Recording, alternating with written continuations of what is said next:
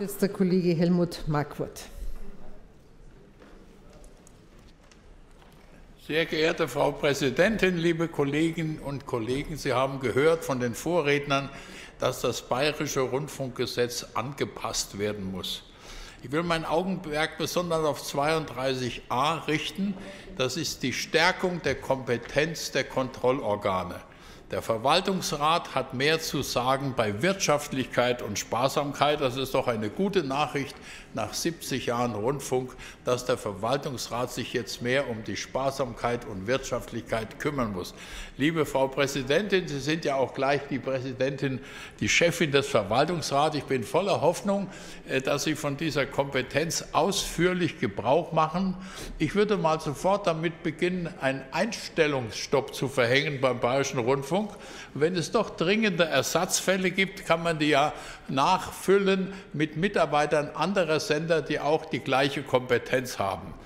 Das, und wir wissen ja, dass bei der KEF jetzt wieder eine Erhöhung beantragt werden soll, dass Finanzmittel stark gemacht werden sollen. Da hoffe ich sehr, dass der Verwaltungsrat sich dieser Sache annimmt. Das andere Gremium ist der Rundfunkrat der soll mehr auf Richtlinien achten, auf Ausgewogenheit, die mir wichtig ist. Da denke ich, dass zunächst mal im Bewusstsein der Köpfe mancher Rundfunkräte etwas geändert werden muss. Vorausgesetzt, sie sind nicht die Vertrauten und gar nicht die Leibwächter des Rundfunks, sie sind die Kontrolleure im Rahmen der Öffentlichkeit. Und das müssen wir unbedingt stärker ausnutzen, dass wir darauf achten, dass die Berichterstattung ausgewogen ist.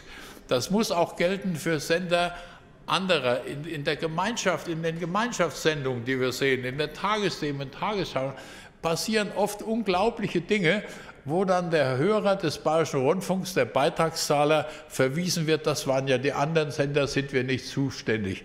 Da hat zum Beispiel in den Tagesthemen eine, ein Kommentar gesprochen, denn von dem nicht gegen die Atomkraftwerke, von dem nicht gesagt wurde, dass er ein Parteifunktionär der Grünen ist. Der kann das ja machen, aber ich denke, die Transparenz verlangt, dass man seinen politischen Hintergrund darstellt.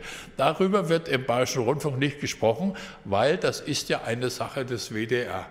Und ich denke, die Richtlinien, die jetzt aufgestellt werden müssen vom Rundfunkrat, müssen nicht nur formuliert werden, es muss auch ihre Einhaltung beachtet werden.